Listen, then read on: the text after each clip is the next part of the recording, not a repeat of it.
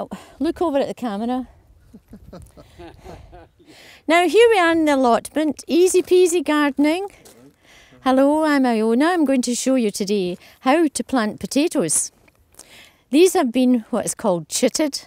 In other words, they've been sitting in our garage. They're supposed to be in a light area and it's to allow these little shoots to come You'll see these little shoots come through in March when you buy potatoes. Even in the supermarket, they start to want to grow. Some people knock off all the chits and leave just two. I just put the potato in the ground and it grows fine. Now, what we have to do is we've had manure in this ground, cow manure, which was delivered, but you can still grow potatoes without the manure, but you just get a better crop with your manure. And we've had a big strong boy, dig the trench for the potatoes. They don't need to be terribly deep. This ground has been dug, it's had the manure in it, so it's quite well what they call aerated. It's in other words, the roots can get down and grow fine. So we're just going to pop them in. Some people just fling them in like that, depending if you're a farmer or not. But a good idea is to take them like this and place them so the chits are pointing up the way because that's the way they're going to grow. Just pop them in and put them just about that distance apart, probably even further apart. It's up to yourself, but that's how I do it. You can do it further apart, you could do them that distance, or you could do them a bit closer. It's up to you, but give each potato a good space to grow. It depends how much soil you've got and how much earth you've got. So Nothing is regulated. if you've got a little patch of ground, you obviously can't give them an awful lot of space between them, but they'll grow anyway, so don't worry. Now it's still quite cold, it's a misty day, but these will be fine. They'll be in the ground and they'll be kept from the frost with the soil on top. They don't need to be terribly deep.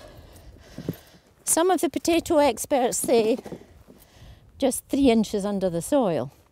But where it's colder up north here, I tend to put a little bit more on them. If there's frost or that, you could cover them with fleece and things like that, but I wouldn't worry about them. They'll be fine. Potatoes are tough. You get different varieties of potatoes. Some of them are what you call blight free. That means they don't get a disease which basically rots the potato and they don't store well. In fact, that's what caused the potato blight in Ireland in the 1800s. But um, you tend to find some of the modern varieties. Cara's a good one, super potato. Um, there's also Red Duke of Yorks. I've grown the Duke of Yorks they're quite good. The red ones are better, I find, than the other ones. They're a bit tougher with a good skin. But I'm not a potato expert. But just ask around who's had good potatoes in their garden and read some books up, get on the internet, etc. And you'll soon find out. And again, it's trial and error.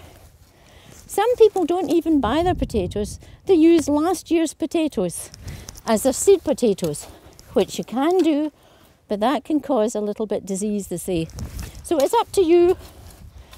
Don't worry, they'll come fine. In fact, I've seen me emptying the compost heap and I've got a whole pile of potatoes that i've just grown through the winter in the compost heap.